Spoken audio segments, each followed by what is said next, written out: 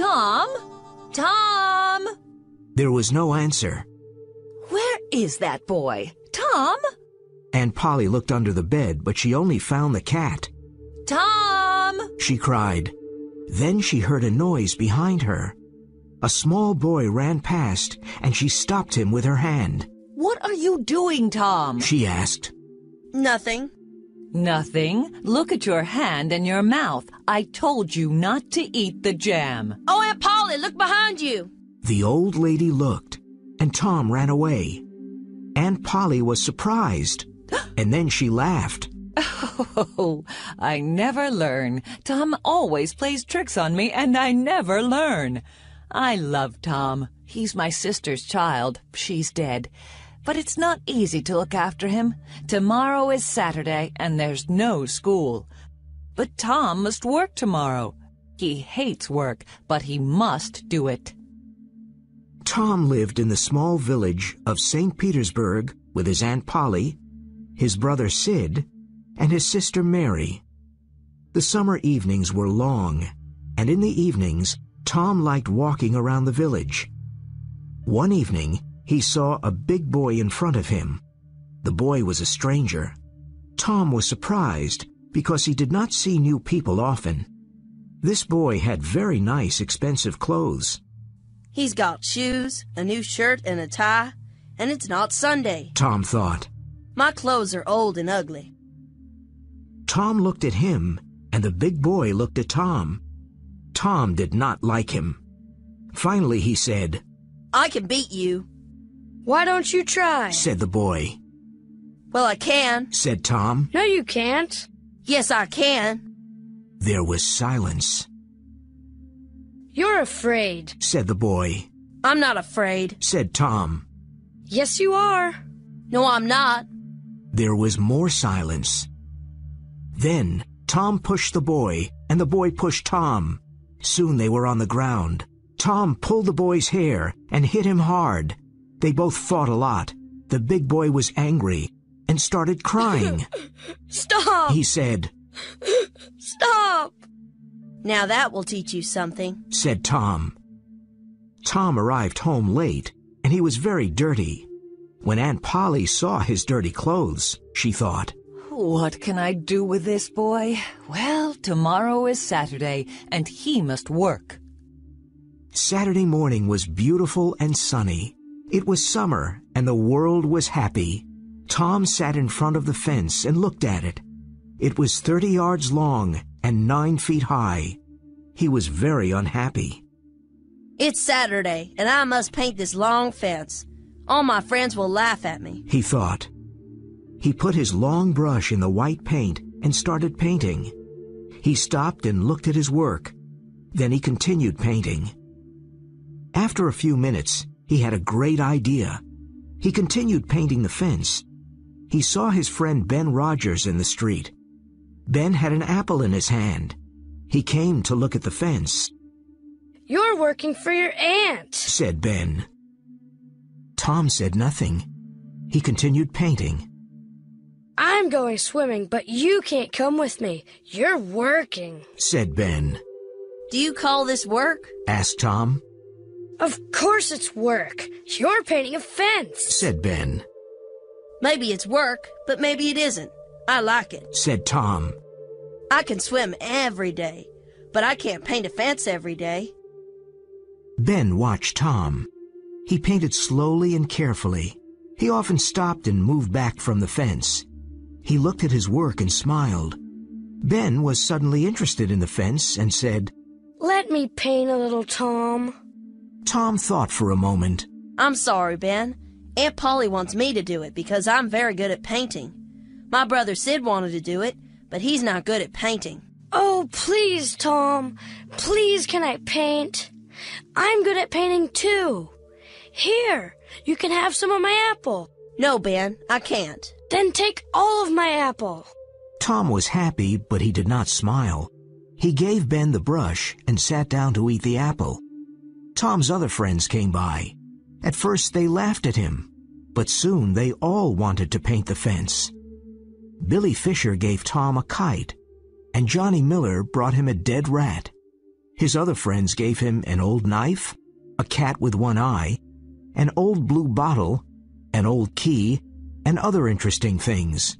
His friends painted the fence, and Tom now had a lot of interesting things. He went back home. Aunt Polly, can I go to play now? When Aunt Polly saw the beautiful white fence, she was very happy.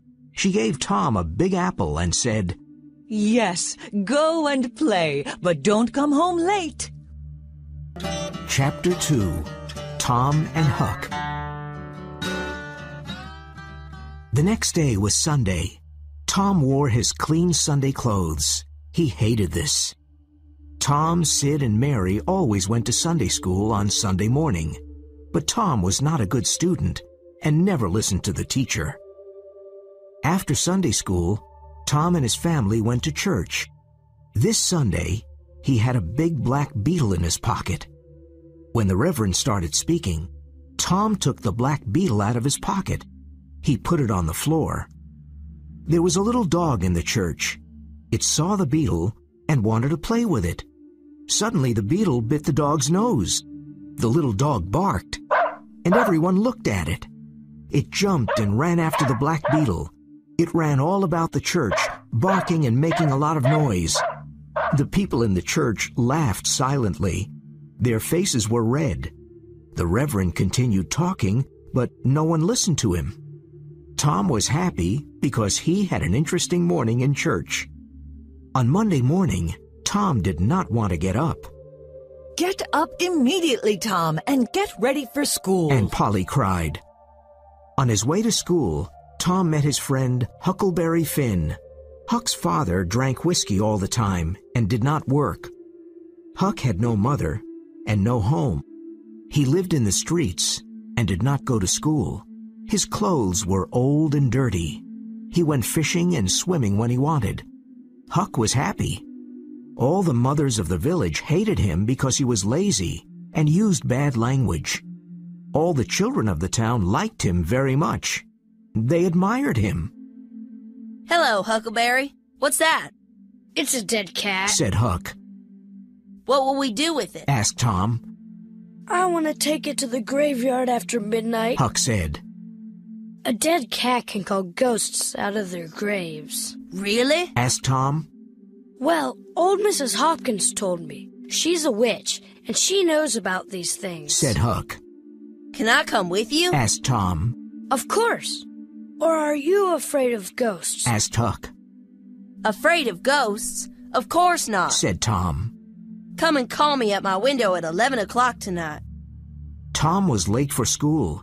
The teacher was angry and said, Thomas Sawyer, why are you late again? Suddenly, Tom saw a new girl in the classroom. She had blue eyes and long blonde hair. She was very beautiful. Tom looked at her. He was in love. There was a free chair next to her, and Tom wanted to sit there. But how? Tom thought quickly and said, I stopped to talk to Huckleberry Finn. The teacher was very angry.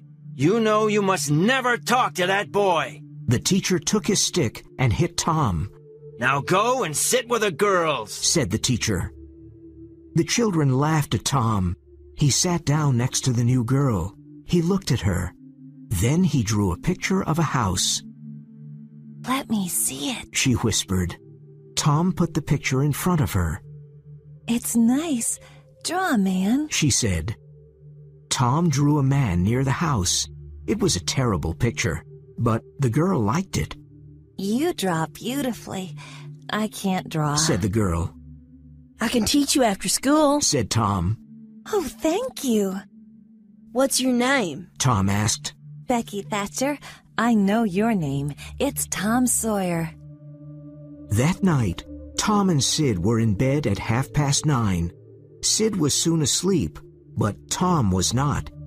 At 11 o'clock, he heard Huck meow. Meow. He dressed quickly and went out of the bedroom window, Let's go. whispered Huck. He had his dead cat. Tom and Huck walked down the dark road. They walked for about half an hour. The graveyard was on a hill. There were a lot of trees, and a lot of graves. Everything was dark and scary. The wind made strange noises, and dark clouds covered the moon.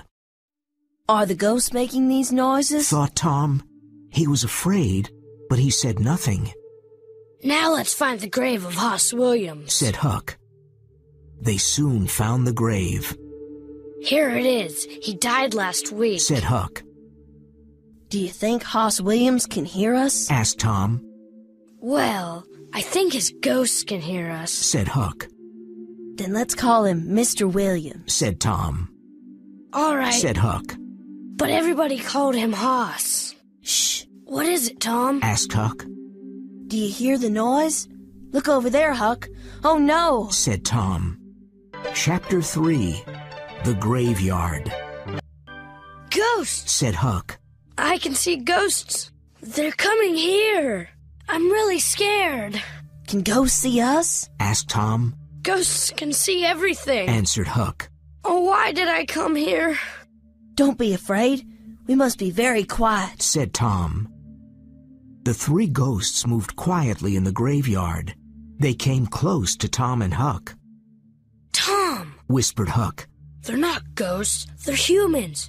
One of them is Muff Potter. You're right. And there's Injun Joe and Dr. Robinson.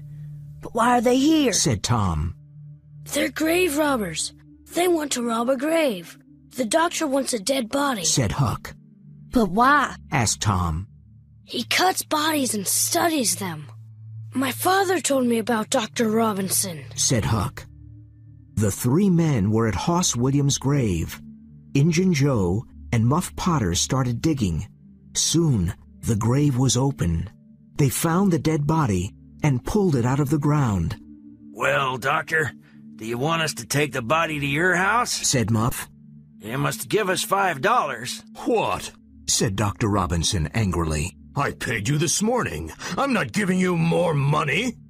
I want more money, Doctor. said Injun Joe. Five years ago, I came to your father's house. I asked you for something to eat. You gave me nothing. I still remember that. Now you must give me more money. Injun Joe took the doctor's arm, and the doctor hit him. Injun Joe fell to the ground, Don't hit my friend! Cried Muff Potter. Muff and Dr. Robinson started fighting. Everything happened very quickly. Dr. Robinson hit Muff Potter on the head. Muff fell to the ground. Injun Joe took Muff's knife. He saw Muff on the ground, and he killed Dr. Robinson with the knife. The doctor fell on top of Muff and covered him with blood. Injun Joe looked at the two men on the ground. First, he robbed the dead doctor. Then he put the bloody knife into Muff's right hand. A few minutes passed, and Muff moved a little and opened his eyes. He pushed the doctor's body away. He looked at the knife in his hand. What? What? What happened, Joe? He asked slowly. Injun Joe said, Something very bad, Muff. Why did you kill him? I, I, I didn't kill him. said Muff. He was very confused. I, I drank too much whiskey last night. I, I don't remember anything. Tell me, Joe, what happened? You fought with the doctor. He hit you on the head and you fell to the ground. Then you got up, took your knife, and killed him. Said Injun Joe.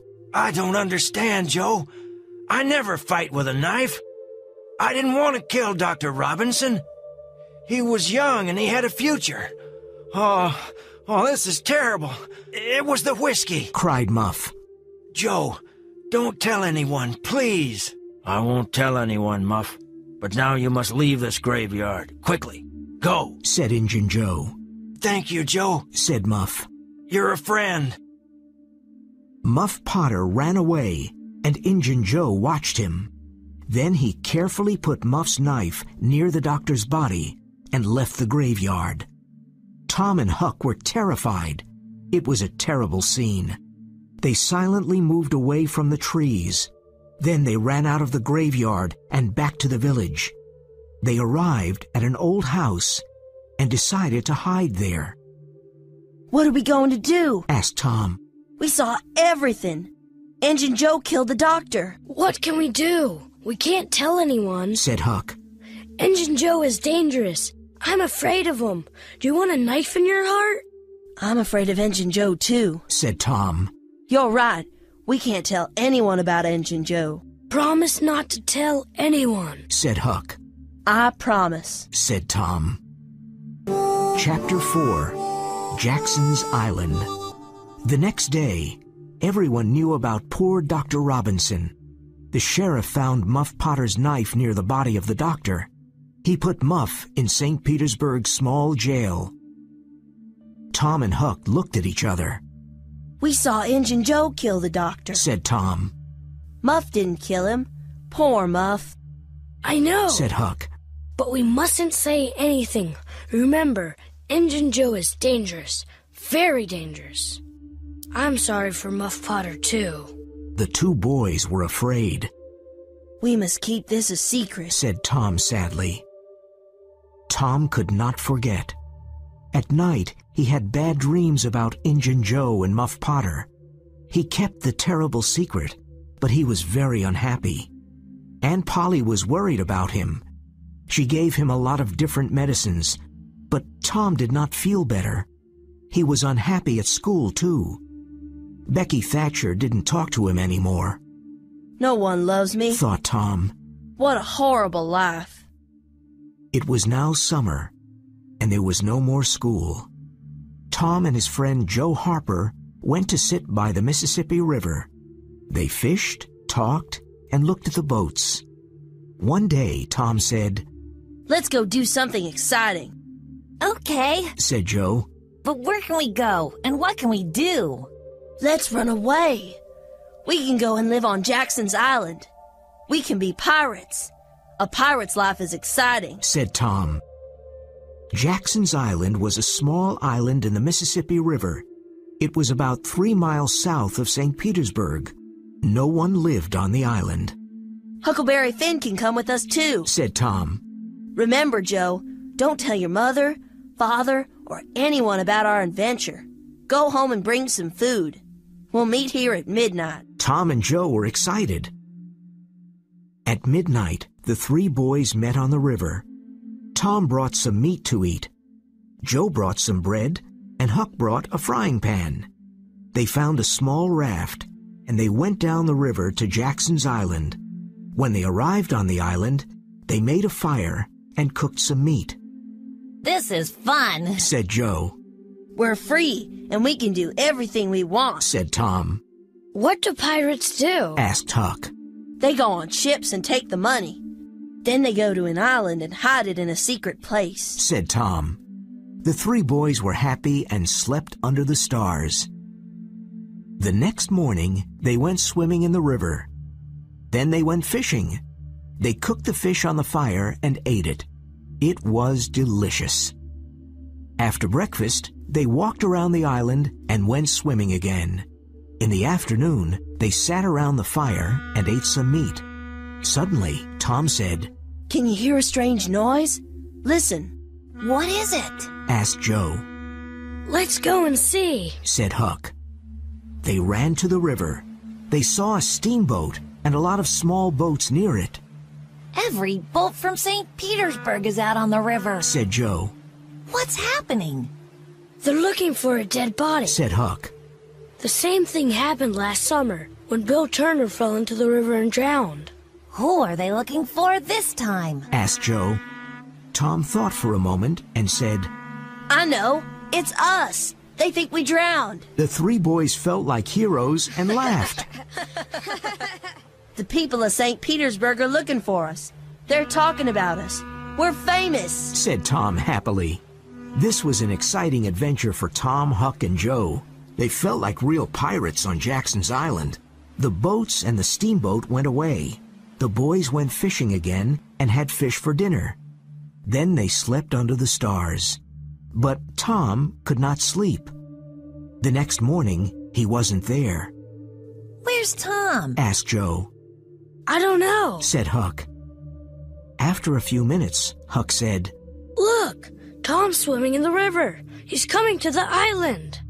Tom told him his story. Last night I couldn't sleep. I thought about Aunt Polly. So I went home, but no one saw me. I saw Aunt Polly and your mother, Joe. Poor Aunt Polly cried a lot, and your mother was very sad, too. Everyone thinks we're dead. I heard some interesting things. What did you hear? asked Huck. Well, there will be a funeral for us on Sunday at the church.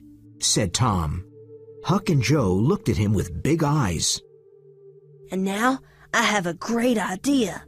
Listen, Tom told Huck and Joe his great idea. They liked it and laughed. Sunday was the day of the funeral. There were no happy faces in St. Petersburg.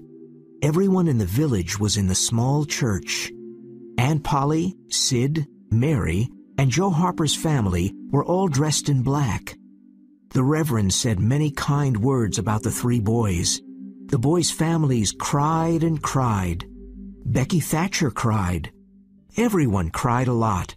Suddenly there was a noise at the church door. The Reverend looked up and stopped speaking.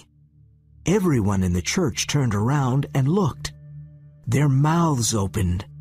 The three dead boys slowly walked into the church. Tom was first, then Joe, and then Huck. There was great silence for a moment. Then Aunt Polly, Mary, and Joe's mother ran to the boys. They kissed Tom and Joe. Aunt Polly cried, and then she laughed. Poor Huck did not know what to do. No one kissed him. He started moving away, but Tom stopped him. Aunt Polly, it's not right. Somebody must be happy to see Huck. Said Tom. Oh, you're right, Tom. Cried Aunt Polly, and she kissed Huck. Tom was very proud of his great idea. Then the Reverend said, Let us sing and be happy. Everybody sang and laughed. It was a very happy day. Chapter 5 The Trial Some weeks later, it was time for Muff Potter's trial. Everyone in the village talked about it. Tom and Huck were worried. Huck, did you tell anyone about that? Asked Tom. About what? Answered Huck. You know what? Said Tom. Oh, of course not. Said Huck. Poor old Muff. I'm very sorry for him. People say he's a killer, but it's not true. And they'll hang him. Said Tom. I'm sorry for Muff too, but we can't tell anyone about Injun Joe. Said Huck. Poor Muff is a kind man. Once he gave me half a fish. And once he helped me with my kite. Said Tom. I want to help him. Let's go to the jail and take him something to eat. Said Huck. They went to the small jail and they saw Muff. He was happy to see them. No one remembers old Muff anymore, but you're my friends and you remember me. Thank you, boys, said Muff, smiling. Now Tom felt terrible. He was worried about the trial. He could not sleep at night. Everyone in the village went to Muff Potter's trial. Muff looked old, tired, and unhappy. Injun Joe was at the trial, too. During the trial, there were many questions and answers. All the answers were against Old Muff. Then the lawyer said, Call Thomas Sawyer. Everyone was surprised and looked at Tom. Why did the lawyer call Tom Sawyer? Thomas Sawyer, where were you on June 17th at midnight? Tom looked quickly at Injun Joe. He waited a few moments and then said, I was in the graveyard. Were you near Hoss Williams' grave? asked the lawyer. Yes, sir. Said Tom. Why were you there? asked the lawyer. I, I went there to see ghosts with a a dead cat. Everyone laughed.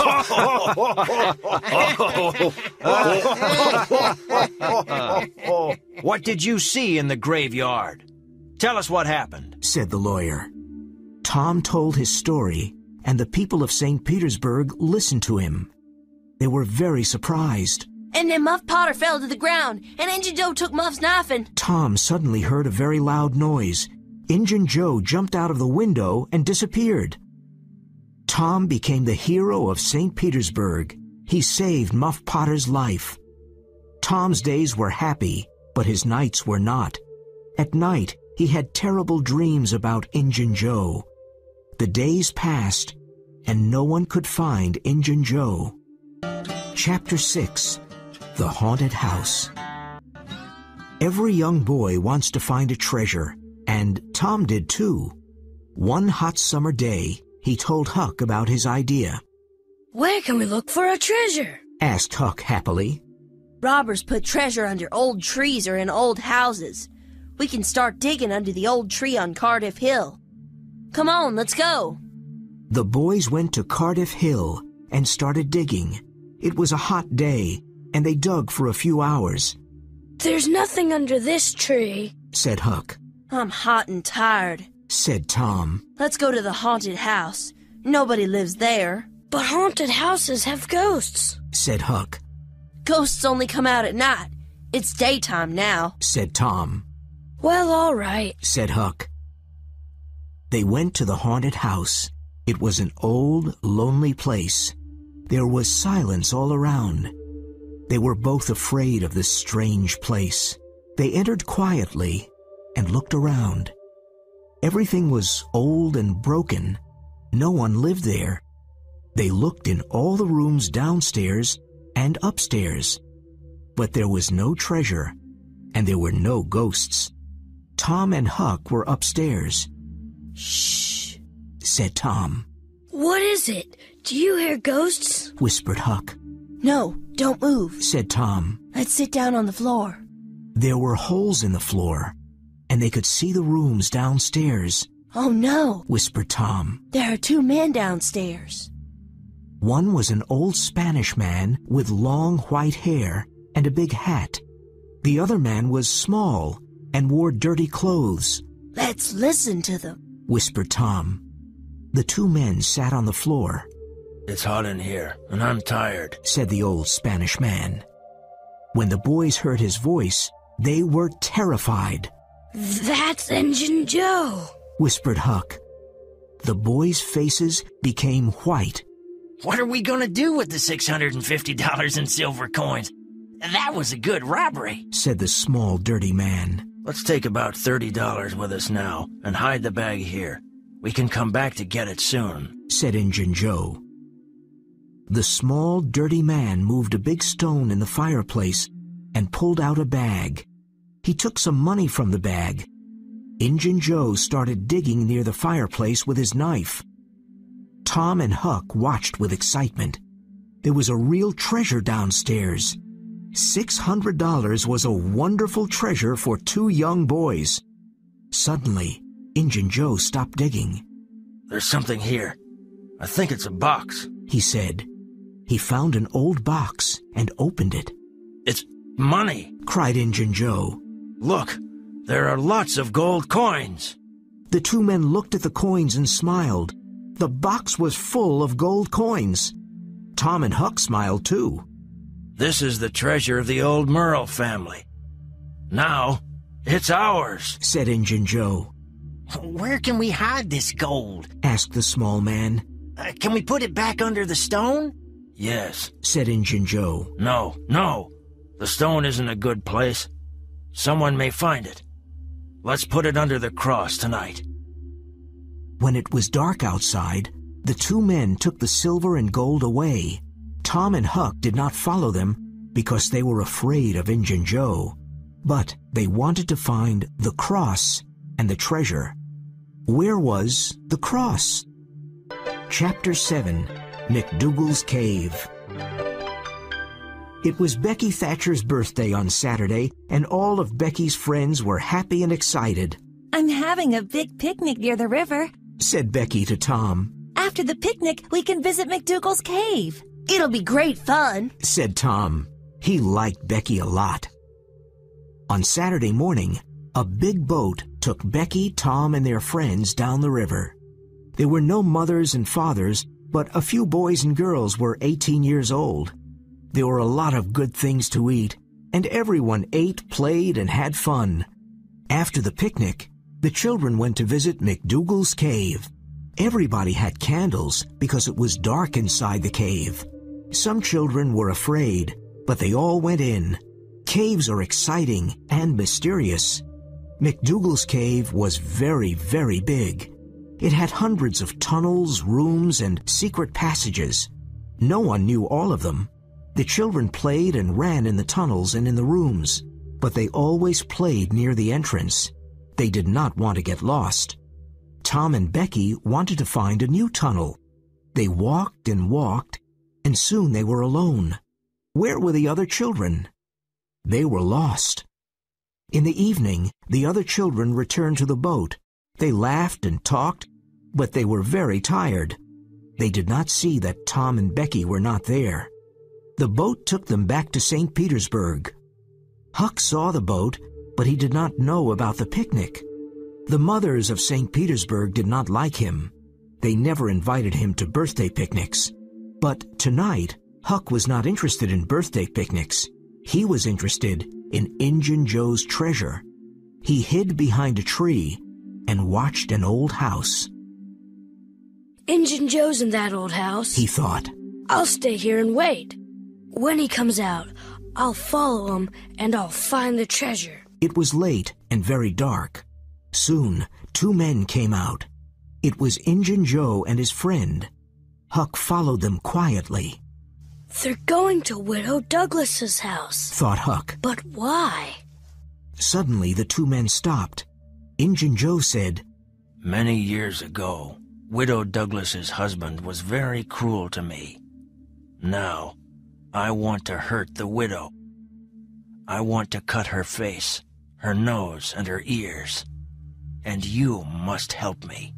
Oh, oh, oh, please don't kill her, said his friend. Injun Joe laughed. Huck heard this and wanted to run away, but he remembered that Widow Douglas was kind to him. I must help her, thought Huck. These men want to kill the poor old woman. Huck ran quickly to Bill Welsh's house. Mr. Welsh, help! Help! Mr. Welsh opened the door. Mr. Welsh, please help me. Two men want to kill Widow Douglas. Mr. Welsh and his sons took their rifles. They ran to the widow's house. Suddenly there was a loud shot. Injun Joe and his friend escaped, but the widow was not hurt. The next morning, Huck returned to see Mr. Welsh. You're a courageous boy, Huck, said Mr. Welsh. You saved the widow's life. The two men escaped, but we'll find them. Sit down and have breakfast with us. Huck was happy because he saved the widow's life and now he had new friends, Mr. Welsh and his family. That morning, all the people of St. Petersburg knew about Tom and Becky, and they were very worried. Where were they? Tom and Becky were lost in McDougal's cave. They did not know what to do. They were both afraid. Tom took Becky's hand. They walked and walked. Tom wanted to find the entrance of the cave, but he couldn't. Tom and Becky entered a big room with a lot of black bats. It was terrible. The bats flew over their heads, and when Tom and Becky ran away, the bats followed them. Finally, the bats went away. Becky looked at Tom and said, Tom, are we? I don't know, Becky. They continued walking in the dark tunnels. They were both tired and hungry. Becky started crying. No one will ever find us, Tom. There are too many tunnels and rooms. Oh, we're going to die here. We'll get out of this cave, Becky. You'll see, said Tom. They ate their last piece of cake. Soon their last candle went out. Everything was dark. What time was it? What day was it? They didn't know. They were tired and slept. When they woke up, they were very hungry. Suddenly, Tom heard a noise. Listen, Becky. Did you hear a noise? Someone is looking for us. Becky looked at Tom and smiled. I'm going to see. You stay here, Becky, said Tom. Chapter 8 The Treasure Tom went into the dark tunnel. He saw a light and heard a noise. Who is looking for us? He thought. Suddenly, he saw a hand with a candle. Then he saw a man. It was Injun Joe. Tom was terribly scared, but it was dark, and Injun Joe did not see Tom. Injun Joe went away quickly. Tom returned to Becky, but he did not tell her about Injun Joe. She was very weak. It was Tuesday, and in St. Petersburg everyone was worried. Where were Tom and Becky? Many people from the village went to the cave and looked for them, but they could not find them. Mrs. Thatcher became very ill, and Aunt Polly's hair became white. Then, on Tuesday night, there was a lot of noise in the streets of St. Petersburg. They're oh, here. They're here. Becky and Tom are and here. Tom are They're here. here. Becky and Tom are here. cried the people happily. No one went to sleep that night. Everyone listened to Tom's story about his adventure in the cave. We were lost for a long time. We were hungry and scared. Then I remembered the string in my pocket. I used the long string to help me. I went down many tunnels, and I always returned to Becky because I followed the string. Then I found another entrance to the cave. It was very small, and it was near the river. Tom and Becky were happy, but very tired and hungry.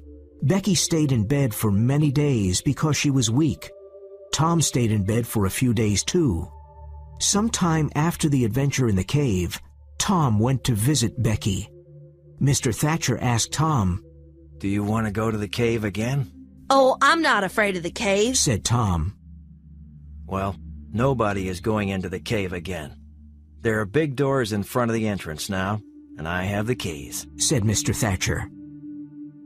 What? Tom's face became white, Is something wrong, Tom? asked Mr. Thatcher. Injun Joe's in the cave. cried Tom. Many men from St. Petersburg went to the cave and opened the big doors. They found Injun Joe on the ground. He was dead. After Injun Joe's funeral, Tom went to see Huck, Now that Injun Joe's dead, we'll never find the money. said Huck sadly. Listen, Huck, Said Tom, I know where the money is. Really? asked Huck with big eyes. The money is in the cave. I saw Injun Joe in the cave. Why was he in the cave? Because he took the money there. Said Tom, Say it again, Tom. said Huck. The money's in the cave, and we can take it. But we'll get lost in the cave. said Huck. No, we won't. I've got candles and a long string. Let's go and get a boat. said Tom. They took a small boat and went down the Mississippi River to McDougal's cave, Look, Huck, here's the other entrance. said Tom, It's very small. said Huck. Tom and Huck went into the cave. They were careful and used the long string to help them. Tom suddenly stopped and said, I saw Injun Joe here. His ghost is probably here too. said Huck, Let's go now. His ghost isn't here. It's probably at the other entrance. Well, all right, but let's hurry. said Huck. Tom looked around slowly and then cried, Look, here's the cross. There was a black cross on the wall of the cave, You're right. It's the cross. said Huck. Let's dig under the cross. They dug and dug. Finally, they found a small room. There was a small bed, some old candles, and a few bottles. And there was the treasure box. They opened it and saw the gold and silver coins, We're rich, Tom. We're rich. cried Huck, This is wonderful. I always knew it. said Tom. Now let's take our treasure and leave. They followed the long string and were soon out of the cave. The two boys took their treasure to Aunt Polly's house. A lot of people in St. Petersburg saw the boys and the treasure. They followed them to Aunt Polly's house. Aunt Polly was surprised to see the boys and all the people. Tom, what's in that old box? She asked.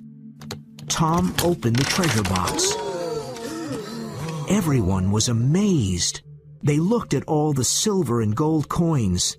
There was $12,000. Tom told his long story about Injun Joe and the treasure. It was a great story, and the people listened with their eyes wide open. Now Tom and Huck were rich and famous in St. Petersburg.